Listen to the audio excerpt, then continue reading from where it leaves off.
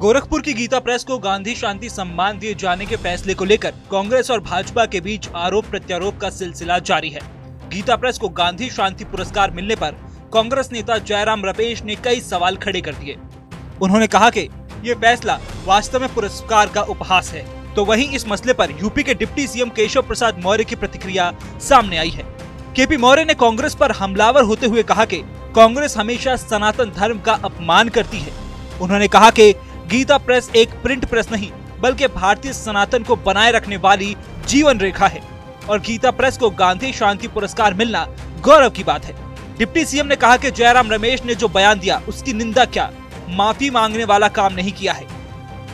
Gita press कोई पुस्तकों का केवल प्रकाशन करने वाला, कोई प्रिंटिंग प्रेस केवल नहीं है। वह भारतीय संस्कृति, सनातन संस्कृति और इस हिंदुस्तान के अंदर संस्कारों को, विचारों को बनाए रखने वाली जीवन रेखा को खींचने वाला है।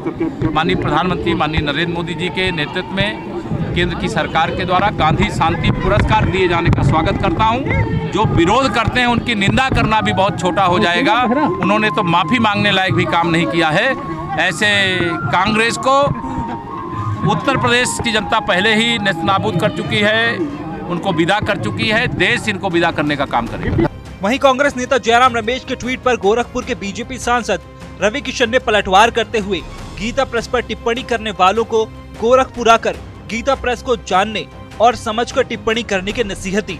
रवि किशन ने कहा कि कांग्रेस की मानसिकता पाकिस्तानी है। ये खास समाज को लुभाने के लिए खेल खेला जा रहा है।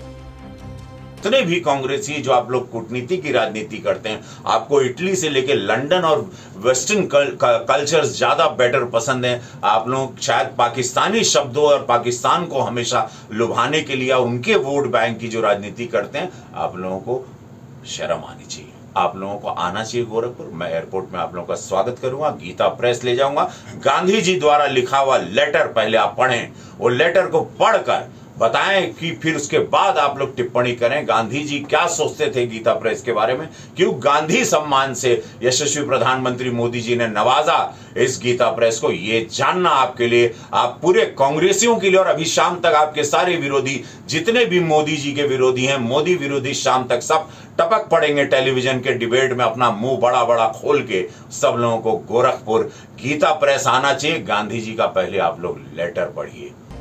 आपको बता दें कि कांग्रेस नेता जयराम रमेश ने गीता प्रेस को गांधी शांति पुरस्कार दिए जाने के फैसले की आलोचना करते हुए ट्वीट करा था, जिसमें उन्होंने लिखा था कि साल 2021 के लिए गांधी शांति पुरस्कार गोरखपुर के गीता प्रेस को दिया जा रहा है, जो कि अपना शताब्दी वर्ष मना रहा है। अक्षय मुकुल की 2015 में आई एक बहुत अच्छी जीवनी है। इसमें उन्होंने इस संगठन के महात्मा गांधी के साथ तकरार भरे संबंधों और राजनीतिक, धार्मिक और सामाजिक एजेंडे पर उनके साथ चली लड़ाइयों का खुलासा किया गया है। ये फैसला वास्तव में एक उपहास है और ये सावरकर और गोडसे को पुरस्कार देने जैसा है। जयराम रमेश के बयान पर कांग्रेस भी बैकफुट पर आ गई है।